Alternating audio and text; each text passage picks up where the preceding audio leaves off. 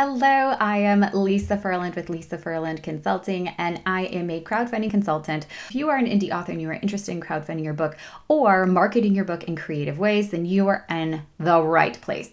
So, I'm here to share some things that I have learned that maybe you already knew or maybe didn't, but hopefully, all of the tips today will help you as you experiment with marketing your book. Okay, so the first thing I learned is that you should be using your Amazon affiliate link. If you're not part of the Amazon affiliates program, sign up. It takes like a minute. You put in your bank information, all that good stuff, and then you get certain links with every product that are linked to your affiliate account. You earn a commission on every product that you sell when people click and go through your link. You can, and this is where I made a big mistake before, you can share the affiliate link to your own products with people. So you can make a commission and you make a royalty when you sell your own books. I didn't know this. This is clearly double dipping, and I'm like, for sure, this breaks Amazon terms and conditions but it doesn't. They are totally fine with you double dipping and earning both commission and book royalty, so have at it. I've been missing out on tons of revenue and I'm like, ah, just kicking myself over and over and over again. I've been publishing books since like 2016 and I haven't been doing this. Like, what is wrong with me? So don't be like Lisa, use your Amazon affiliate link and earn that extra revenue. Extra bonus is that the Amazon affiliate link will allow you to track the conversion rates in your ads. So when you do a Facebook ad, send them to your Amazon affiliate link, and then you can track and see how many conversions are turning into sales from that link that you share. So it's really helpful um, for you to track your ad performance because Amazon doesn't give you that information on where the traffic is coming from. They just tell you, hey, you sold 10 books today, but you don't know if two are from your Amazon ad and two are from your Facebook ad. So as you start to experiment with more ads, you're going to need to track the ROI on all these ads, and using your Amazon affiliate link is a great way to do that. Okay, another thing I have learned, especially, and this pertains to children's book, but I have adult books, uh, nonfiction, and then I have a children's book.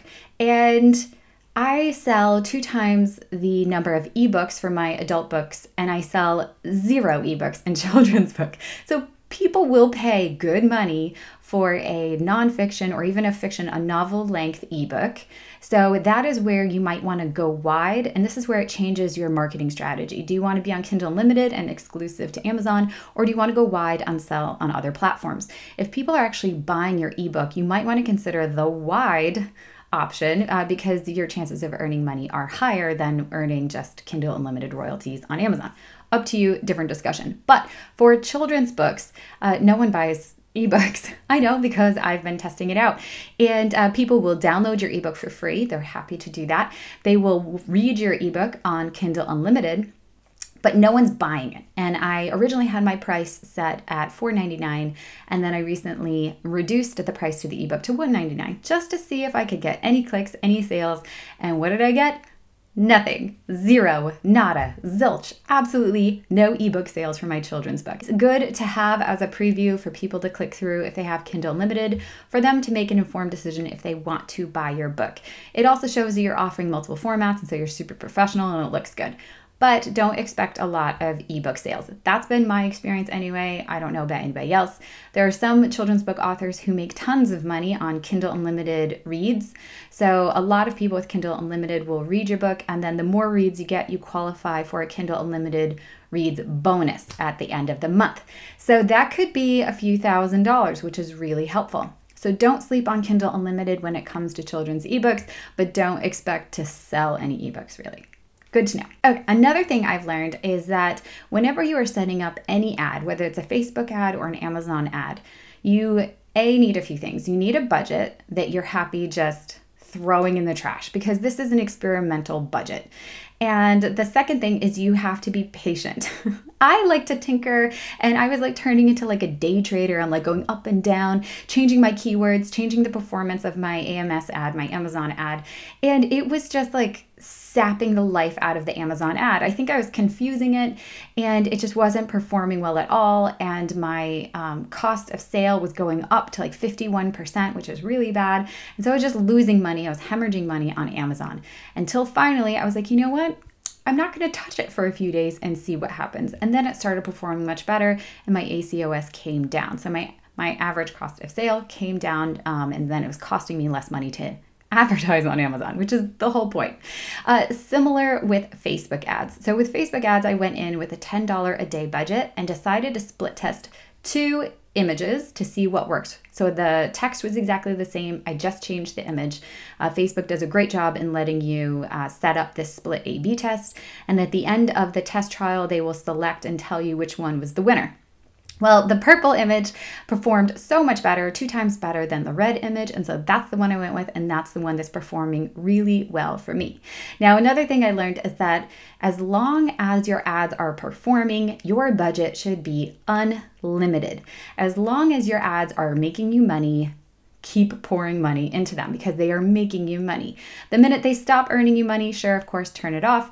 And that is where it is important to be able to track your return on investment, which again is why it's important to set affiliate links so that you can track what your ROI is from that ad. Unfortunately, Amazon just does not give you that information, so it's up to you to have a trackable link that will allow you to track your return on investment. And so, finally, when it comes to marketing, the key here is to always experiment and try new things.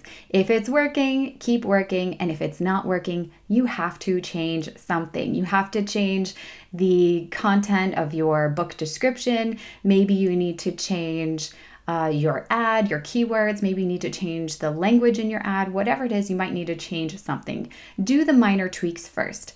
I recommend making small dial changes uh, to see what works and what doesn't work. So, experiment with pricing, experiment with your book description, experiment with all of that before you do the big sort of nuclear bomb changes to your book. Nuclear bomb changes to your book would be changing your title in any way that requires a new ISBN or completely changing your interior files as well.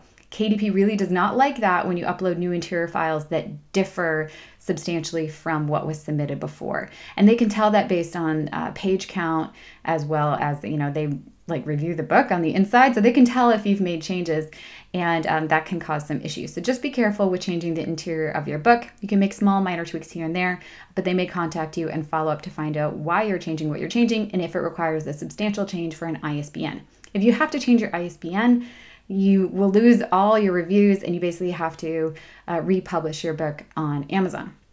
So that's that's tough, and I don't recommend doing that. Um, but you can do a new cover without without losing your ISBN or having to change it. Um, so again, make those like small tweaks, do those things, and uh, really focus on marketing your book with different messaging and different calls to action before just completely changing your book entirely. Uh, sometimes a new cover is all you need to get new sales and get fresh eyes on the book. Uh, so that's always an idea, but definitely give it the good old college before you take that next step. That is all for me. I hope this was helpful for you. If you have any comments, of course, please leave them below. And if you are interested in working together, I love helping authors come up with creative strategies to market their books. Bye.